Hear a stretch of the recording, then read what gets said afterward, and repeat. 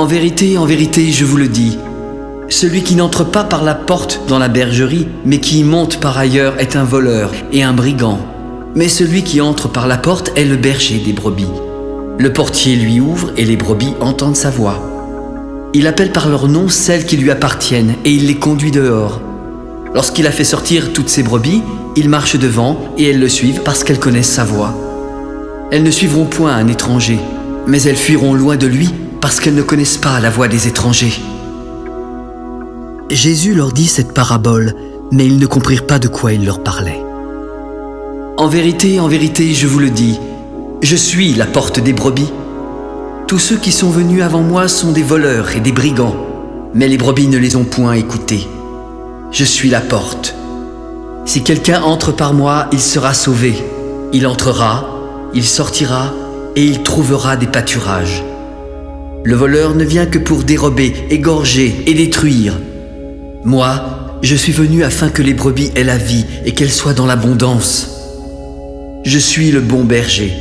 Le bon berger donne sa vie pour ses brebis. Mais le mercenaire, qui n'est pas le berger et à qui n'appartiennent pas les brebis, voit venir le loup. Il abandonne les brebis et prend la fuite. Alors le loup les ravit et les disperse. Le mercenaire s'enfuit parce qu'il est mercenaire et qu'il ne se met pas en peine pour des brebis. Je suis le bon berger. Je connais mes brebis. Elles me connaissent comme le Père me connaît et comme je connais le Père. Je donne ma vie pour mes brebis. J'ai encore d'autres brebis qui ne sont pas de cette bergerie. Celles-là, il faut que je les amène.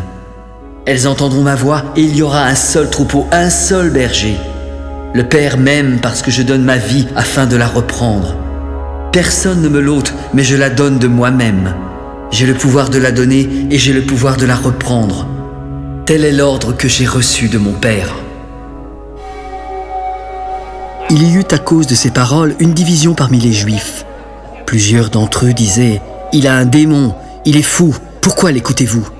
D'autres disaient, ce ne sont pas les paroles d'un démoniaque Un démon peut-il ouvrir les yeux des aveugles? C'était l'hiver, et on célébrait à Jérusalem la fête de la dédicace. Jésus se promenait